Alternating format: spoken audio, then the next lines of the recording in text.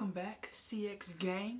If you're new here, my name is Sky, and um, today we're talking about perception. And that John works both ways, okay? You see I'm wasting time? Mind your premium business, why don't you? Okay, yes, this is going in my advice I could have used as a kid playlist. Now, this might be a bit random, but is it really? Let's start. For one, perception was the hardest thing to truly understand. No one just breaks it down, opens up, crack open the top and be like, hey, have you heard of perception? Do you know how people perceive you? What really would have been nice to hear is that it goes both ways and it's valuable to know how people perceive you and why that is. Now, it's none of your business to truly concern yourself why they do perceive you, but just to know how did they get to that point of perceiving you in this way? What about you is giving off this energy that tells them, ugh, you're that way? And honestly, I could never crack the code. I was never bothered by anybody to that degree to where I just needed to know so much about them. I truly, I don't want to say I didn't care about folks, but if it had nothing to do with me, it had nothing to do with me. Truly. And I couldn't relate to people who would obsess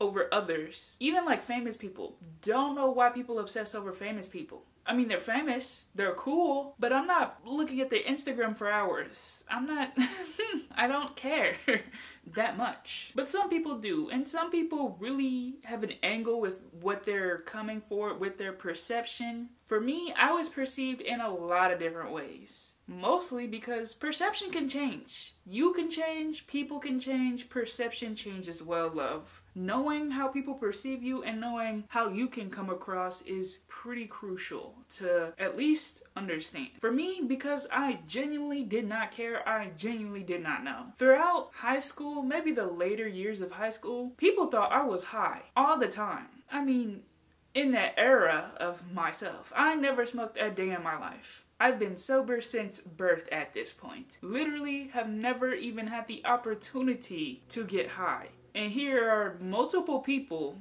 coming towards me thinking that I'm high, thinking that I'm in school, gone. It wasn't necessarily annoying to some degree, like I just didn't get why people thought I was high. The most I could connect, because I can only perceive my actions and what I was doing, is because my demeanor was so nonchalant. Okay, life was lifing, especially in high school, and a girl just did not have the energy to give to anybody. I wasn't even entertaining nobody. The whole class could be throwing a fit, and here I am in the background saying, When's lunch? I carried that demeanor a lot because I didn't want any smug with anybody. I didn't want anybody to have a reason to talk to me for real. I don't think I was depressed, but I was very unhappy. I was very not feeling this high school life. A lot of that was BS, and I knew it at the time. You ever just like realize this high school world is really, really dumb? Yeah, I realized that in ninth grade.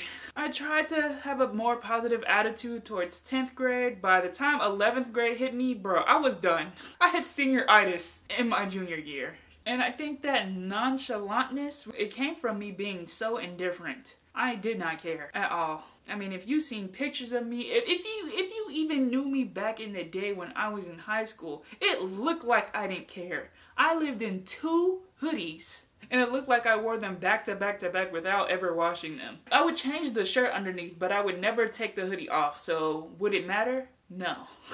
that nonchalantness came with the energy of just I didn't care, but people cared. People cared that I didn't care, and that never that never hit me. That never ached for me. It's like, can't you tell that I don't want to be here? Then please do not talk to me. Let me continue living my life so I can get to the next class so I can go home. Another thing about perception is that you don't even have to even try to act mysterious, but if you're not openly vulnerable about yourself. Like if you don't talk about yourself a lot, you don't talk about your home life, you don't talk about nothing. You literally only talk when you are spoken to type beat. There will be some people you come across who are just drawn to you because you're not that open, because they don't know that much about you. People get uncomfortable when they really don't know shit about you. And even though technically it's none of their business, some people will make it their business to know who you are, bro. They will make it their mission okay? And people will test you in various ways, various annoying ways. One time in the, is it 10th grade?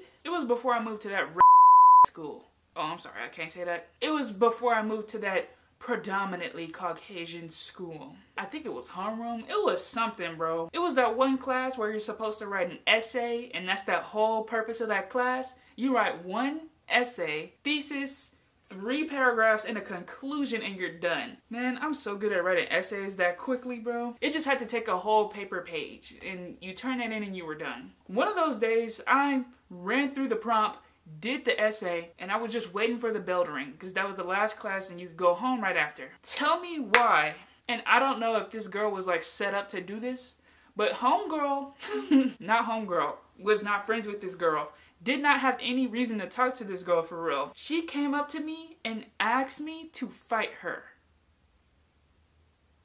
I don't think I've ever been in a fight in my life, really. At my adult age, I don't think I've ever really been in a fight. And when she asked me that, I just didn't know what to respond with. Like, the actual act of her asking me, like, she wanted to fight. She wanted to see if I could fight, or like, how would I fight, or something something in that realm I could not understand, like get to grips. Why would she physically ask me to fight her? Now, again, very nonchalant at this time, really didn't care, really just wanted to do my work, get it done, and get home tight beat. Like, I had no interest in this school thing. Nobody really, nobody really ate that. Nobody really took that and be like, mm, her interest is elsewhere. No, they needed to know how I fight. Yes, and she was black. Babes, I didn't fight her. I didn't fight her because one, I truly felt like that wasn't her idea. I felt like she was being set up okay, set up for her benefit alone. She was gonna take this fist, this five finger fist, for somebody else's enjoyment. Now, she definitely did this loud enough to where not only were the students aware that she was trying to provoke a fight from me, but the teacher was aware as well. Bro, this is why I had to leave that school. This is how I know that school was thrown off. So the teacher, she was really trying to let it slide. Like she wanted to know what would happen too. When I tell you, that girl had no business trying to pick fight with me for real. I'm violent, for real, bro. I'm silent because I'm violent. But nobody knew that. I was very much the quiet girl and people wanted to know. Now, don't get me wrong, I was a built girl. I'm physically taller than most girls, bigger bulk than most other girls. So her life was at risk. Lord Key. But at the time, I wasn't trying to get in no beef. I wasn't trying to get in no mess. I wasn't trying to do any of that. One, because at the time, my home life, yeah, very stressful. I was not trying to have a situation to pull my mom out from work or to get suspended or to even just beat her so bad that I would get expelled, bro. It wasn't the fact that I didn't want to fight her. It wasn't the fact that I wouldn't fight her. It was the fact that she was asking for something way bigger than what she probably had, what she really had anticipated, okay? I don't, I really felt for this girl. I really don't think she knew what she was getting herself into. So I hit the automatic no. Like, I'm really not trying to fight you. You do not want to know what I got. I wasn't carrying nothing, but I would have I would have sent her to the hospital. Okay? She did not comprehend this. She did not, and I felt this, but I did not know how to convince her that she did not want this. She wanted it so, she wanted to know so bad. What you want to go home with a broken nose for? Why? Okay, so the way that I ended the situation, because she did this right before the bell had rang. Right before, like, there was the time we were all lining up at the door. We were ready to go. This girl wanted a fight and I wouldn't give it to her. I didn't give it to her. What I told her was is that if you try me, my peoples will handle you. AKA my grandmother. My grandmother, first of all, don't don't play with my grandmother because my grandma don't play with me. And I really told her that. I was really explaining like, hey, this ain't the smoke you want, for real. And she kept on trying to antagonize me, trying to antagonize me. I kept telling her, babes, this is what you want. That aggravated me a good bit. I was fairly close to really just beating this girl's ass. She wanted to, I would have. But I was more concerned about the consequences after because not only would I have shown her how violent I actually was, but I would have gotten in trouble for it too. I didn't want the smoke. If you wanted to fight me, do it outside in the parking lot where I want. do it outside in the parking lot of Wendy's. Okay, if you really want if you really want the smoke, do it where you can't get saved, bitch. Do it where the police have to come. Don't get the principal. Don't get the teacher saying, all right, all right, that's enough now. No, never provoke people like that. I don't know why she felt the need to do that. I was so concerned for her, like to the point where I knew she was set up. I knew somebody set her up. Whoever told her to do that, disgusting.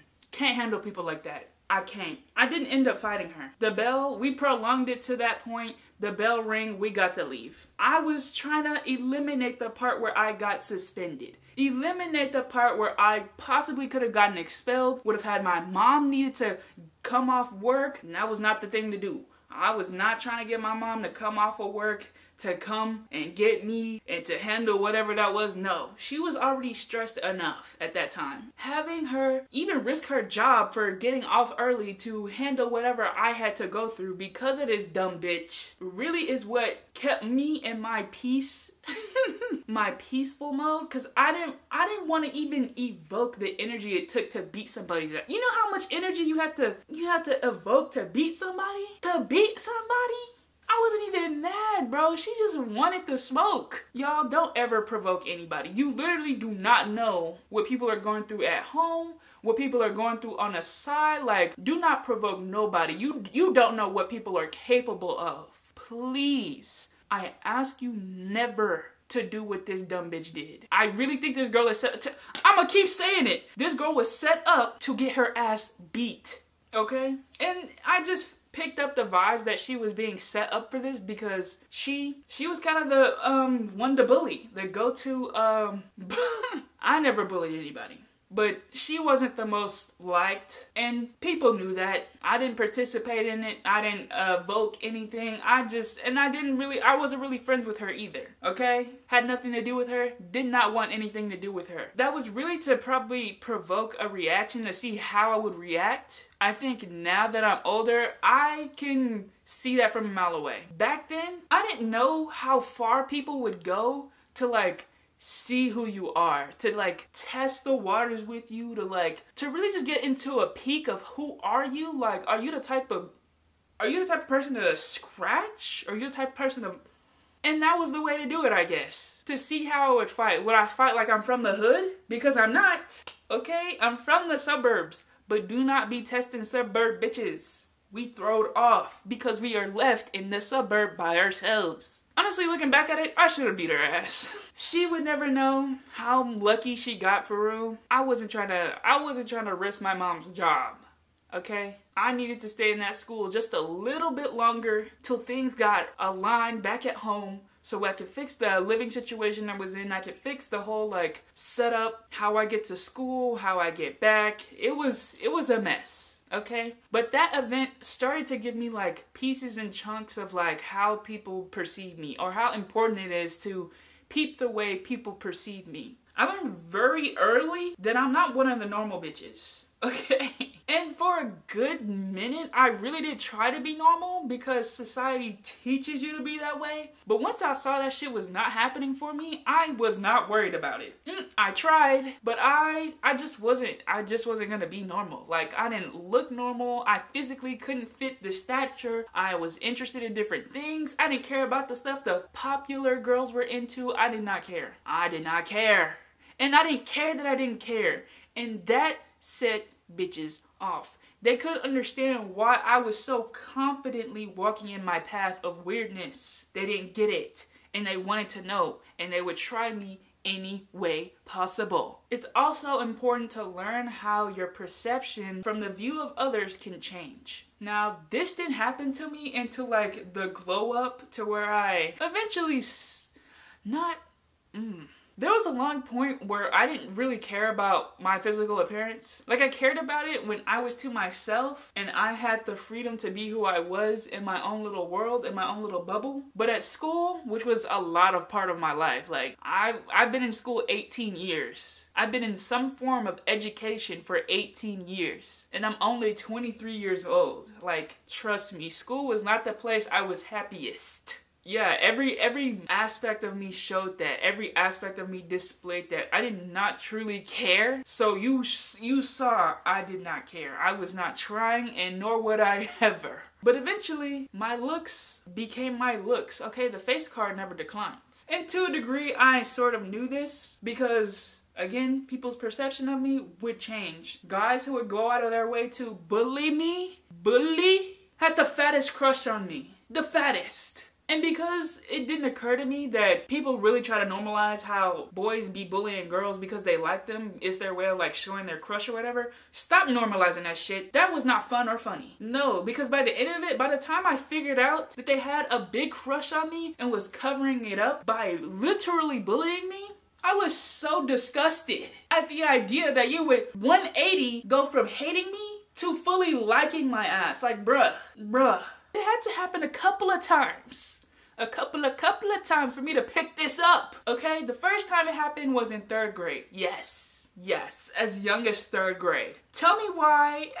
Bruh, it was this kid. He had a. There was something wrong with him. I forgot what the fuck it was. he was one of them disabled kids, okay? I think he had like an eye thing. I really forgot what the fuck was wrong with him, bro. And it wasn't nothing like really wrong with him. He just had like an eye deformity or something. Something. He had like a lazy eye, something. I don't know. Some kids would bully him for it. I personally never bullied anybody. Cause when did I ever? Now, because of his eye, people didn't like him. He he he definitely received bullying, as all people with who who looks different, who are different, receive the bullying. I wasn't one to participate in the bullying. But uh, again, I didn't care to like go out of my way to make him my friend type beat. Like I didn't I didn't care. I was indifferent. In different. And somehow he caught wave of that and wanted to start beef with me. I don't know how we got into it, the way we got into it. He must just have assumed that I was one of the people who was willing to bully him. But he probably peeped that I, it wasn't me. I didn't give a fuck like that. And I think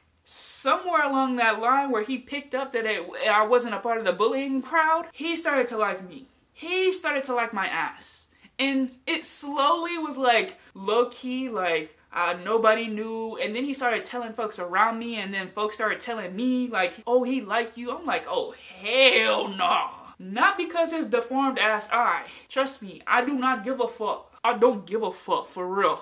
For real, okay? Be disabled. One of my best friends you know, this is off topic. But I didn't care about people with disabilities. I didn't care about people who look different. You, it literally did not matter. At most, I would be curious and probably ask some dumbass kid questions. But that's because I genuinely wouldn't know. I knew this one kid in the same grade, in the same class. He was, he was on the spectrum. He was special ed. He was, he was sped, okay? What other way you want me to say it? He was fed. And he he would go out of his way to greet me. He was very nice to me. Every time i was late to class he would go out of his way to be like hey sky. He, he would just make my day sometimes. He would really go out of his way to like greet me as i came in late and felt awkward like everybody else was staring at me. He went out of his way to say hi. Just hi. And sometimes i would share my chips with him bro. He was so nice to me. He would go out of his way to be nice to me. I would share my bags of chips with him bro. I think his family was kind of poor but and he wanted some chips bro. And i always had a bag of chips Okay, that's what I survived on. A bag of chips. I have no hate for the disabled, okay? For the speds, none of them. Bro, I don't know how you call it, bro. I'm gonna sound like a like a the second time that bullshit happened to me was around ninth grade i want to say and there was this kid should i dox his name because i remember that boy's name that bulbous head boy ass name let me not expose his ass, just in case he's he's still recovering. But uh, you know who you are. You probably don't even watch me. But if you do, because if I blow up one of these days and you actually go through this and see me, yeah, you, now I'm not gonna lie, he was a part of a, uh, his sector of people. He wanted to be a part of the cool kids, the popular kids, which was really just the kids who had money. That's all it was. That's all it took. The kids who had money. He, he came from a, a fairly wealthier family. Not too wealthy not too wealthy. He just had a slightly bit more, okay? slightly. I don't know what was his problem for real. I think he would he would get in trouble a lot. Like he would go out of his way to be like a bad bad kid, bro. Like doing too much, always talking, always out his seat, always playing, bro. He he was one of them kids who wasn't getting attention at home type beat. Like he something was he wasn't thrown off. Like he was he was here, but he acted in a way as if he just he needed more than that. He acted a fool by the time he got to school, like, and had the most energy to do so. The audacity of this boy. He, he would be annoying at times. To a degree, he would be annoying. There was a point in school where it stopped being funny. And so he stopped being like the class clown and started being kind of annoying. And I think by the time I I really forgot, but it's either ninth or 10th grade that he directed his energy towards me and tried to start bullying me, first of all, he was really not in the place to bully me, okay? He was an easily bullyable kid. He probably got a lot of he probably got a lot of flack for the way he just was. Just the way he existed, period. Should I describe him? Bruh, he was kind of short. He was light-skinned. His I think he had a couple of punishments that were to shave his head bald. being bad, being so bad in class to where his punishment was to shave his hair off. And let me tell you, his head, bulbous. Bulbous. I promise you. And yeah, after his shenanigans got tiring, he started directing his energy towards me. Now, don't know why he picked me. Again, nonchalant, didn't care. Actually, I kind of did care at this point. At this point, I had my little core friend group. We were like, not outcasts, because we weren't weirdos, but we were just not, we didn't participate in the collective like main people, popular people, people with money. We didn't care. We were chilling. We were always chill. My group was chill. I I didn't do all that. You're doing too much. We don't do that. And we made good grades because we were smart. You probably wish you were in my friend group for real. He would just be sly and try to bully me. The bullying at that point didn't work for me because I gained, I guess I had gained more confidence in myself and he just wasn't the type to really like infuriate me. Like, bitch, calm down. Calm your four foot nine self down. I'm not trying to be heightist. I was like five foot seven in the sixth grade babes, I was always gonna be tall, period. And one day, I just kind of noticed more and more of his like bullying became more about my body more than anything. You know, you can talk about my hair, you can talk about my face, about the way I dress. No, these little jabs were just about my body. Babes, why are you paying that much attention to my figure? You seem like you care a little bit too much. There were a few times that I pointed that out to this boy, and he was so flabbergasted. It really shut him up. And after that, I started seeing the exposés of, and I started getting on to the to the clue that he liked me. I think one day I straight up just said that, like, "Hey, you speaking a lot about my body. Like, do you like me? You you see something you like?" After that, he really shut the fuck up. like after I exposed his ass, he really stopped bullying me. He really stopped talking to me or I don't know, I also transferred. But he really stopped the bullying. He really stopped trying me. That was it. And I don't know if I ended up hurting that boy's feelings because what I said was what I said. No cap, no ballpoint pen. But yes, that was some bullshit, bro. To me, on my perspective, I never understood why boys, because that's what they were, little boys, would do that shit. It didn't occur to me, like, if you liked me, say that. And I was a bold bitch too. Like, if I ever liked somebody, I told them. All those experiences gave me the added adaptation to really realize how do people perceive me. And it's not gonna be the, the same throughout. People are really gonna experience you differently based on their own environment and how, in whatever situation they're coming from. People really try to piece together who you are. And if you're not necessarily open with that, they might even target you because you're not as open with that. And the perception varies drastically, okay? One time I was at work, this was back when I worked at Golden Chick. This one boy, my coworker, he straight up told me that he thought I lived in a two-parent family household, a two-story brick household with a two-parent income. I don't even know how to say that correctly. He could not have been more wrong. Not only was that all incorrect, but he made these assumptions completely based on how I look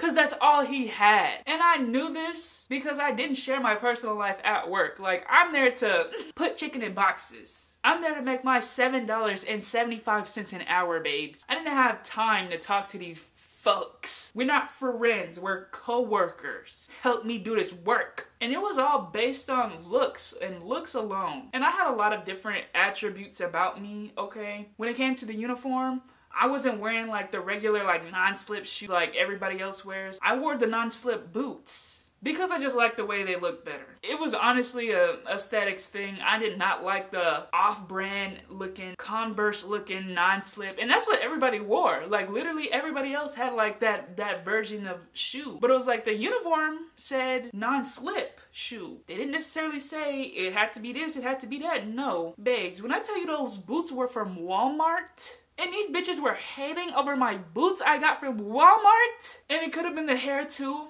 I always had issues with my hair because working in the restaurant setting, I had to wear a hairnet. I had to have like multiple hairnets to fit all my hair in. And then they had to pick a fight with me based on like the little cap. Everybody else in that John had like a little visor. You know, the portion that's the, the lid up top, the rest is open. Yeah, I needed that opening because I had so much hair. But they definitely tried to give me that little ball cap as if that was gonna fit all of this. That really came from a, another story. Like, genuinely, the managers there, two out of the three managers there tried to bully me and was successful because a bitch quit. But honestly, that was a younger me. I didn't I didn't know that people continued the bullying, the high school BS stuff at work. Babes, we're here for a, a job. Why are you having personal vendettas against me? You make four more dollars than I do. Stop acting like you run this bitch. yeah, bro, but I had a car at the time too. Like people people take in all aspects of what they can get from you based off every aspect like every aspect there is of you even if you don't speak of who you are, even if you don't openly share about the type of person you are, people will make the type of presumptions they want to against your will type beat. And that was a really hard pill to swallow. Like, I did not get why people would either A, be just indifferent, have no idea about me. Like, you didn't need to know about me to work there. Like, do your job, focus on what you're supposed to do. Mind the business that pays you, please. But no, it was always an interest, always the topic of interest. Like, babes, get a hobby. Stop being so concerned. Perception, it isn't just the outside aesthetics of you, it's also your demeanor and your energy that comes across as the type of person you are. I have a mean mug, okay? my resting bitch face be resting in bitch. I'm a very goofy person. If you get to know me, it'll it'll be hard not to laugh when you're around me, for real. I know that sounds like I'm being funny, but I'm I'm being dead ass. But not everybody can take my type of humor, okay? I can get kind of dark with it. I'm not everybody's cup of tea. And I know that, and I'm cool with that. But like, if I'm not your cup of tea, babes, I don't want to interact with you. I'll do the bare minimum of conversation with you. You do not have to know me for real. I'm a chill, respectable person, but some people need to have an end. Some people need to know a flaw. Some people need to know something that's wrong with you so they can feel comfortable with themselves. And they will do anything and everything to get that sort of perception from you. They'll make up whatever, whatever dialogue they need to make up for themselves. They will fill in the blanks themselves. In my whole life, I never got why. I can never figure out why, but honestly, the reason must be probably personal because ain't no reason you really need to know who I am for real. It applies to all relationships you come to friendships, romantic relationships, family relations. I always had to be aware of the position they wanted me to play being myself was an option, but 99% of the time, people did not like that shit. Mm-mm, it didn't fit. It didn't fit the script they already wrote up for me, and they didn't like me to play it. And sometimes, especially in my younger years, I would play the role that I would think they want me to play, just to get them off my back for real. I do not like confrontation. I don't like people, but I also have a hard time really existing in a way that doesn't pertain to my actual self-being. I'm so neurodivergent that I literally have a hard time playing an NPC character. I do not mesh well with the group. I literally have a mind of my own and I don't I don't like adjusting that to other people. You wouldn't adjust for me. Why do I have to adjust for you? Make it make sense, Cheryl? And lastly, I would like to reiterate that there is some benefit into peeping how people perceive you. It might be hard, it might take a few times, it might take a few rounds of people to really gather the information you need to see how you perceived. And don't be afraid of that changing over time, because trust me, it changes. Now, I realized that a portion of me is intimidating. A portion of me is really um, infuriating to a lot of folks. I make a lot of folks jealous for really no reason. And that can sound like I'm full of myself, but my personal experience has told me up until this point, people be hating. Lay off the haterade, please. Please. Jealousy is not a good color on you, babes. And for a long time, I couldn't figure out why, okay? Half the time, I wasn't as wealthy as you thought I was. Half the time, I didn't have all the nice stuff you thought I did. I just knew how to do my hair and put on the right outfit, babes. People are even jealous of the hair for real. I didn't have the money to buy weaves and wigs and sew-ins and hair extensions. I grew my hair because I wouldn't have nothing else, babes. It wasn't a choice. I get so sick of that shit. People are like, people are always up my ass too. Like they don't know the journey behind me and my hair. It's literally a hair journey, which I can make a, I can make a video about. Get into how this became this. Well, it wasn't always like that. And I didn't know, well, I wasn't aware that people would be so into my hair like that people would really care about my hair for real. It's a huge topic and it's a it's a huge part of me like it's a part of my aesthetic now. Like I can't just pretend like my hair isn't significant. Don't let the world shape you, but be aware that your environment does take a part into how you exist. Okay, you don't have to always take in everything that's coming towards you, but do know that has that has a part to play and you'll learn throughout life how to move throughout life by the environment you're in. You're given a deck of cards and you gotta play them. But yes, that's all I have for you guys today. Thank you so much for joining me. But I hope that cleared up some things. Maybe you've gained some things. Comment down below if you learned anything or comment down below, period, bro. Nobody be commenting for real.